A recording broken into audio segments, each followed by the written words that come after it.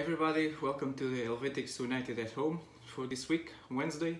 I'm Coach Hugo. Today we're going to have three AMRAPs of five minutes with two minutes rest in between. So, and in each one of the AMRAPs we'll have two different exercises, one with a backpack and one with body weight.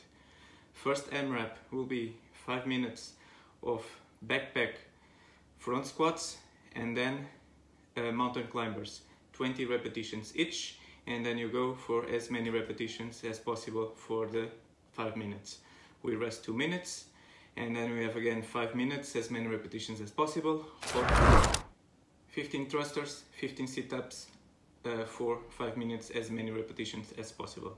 We rest again 2 minutes and the last AMRAP again 5 minutes, this time with 10 reps will be 10 alternated lunges with a backpack and 10 burpees over the backpack.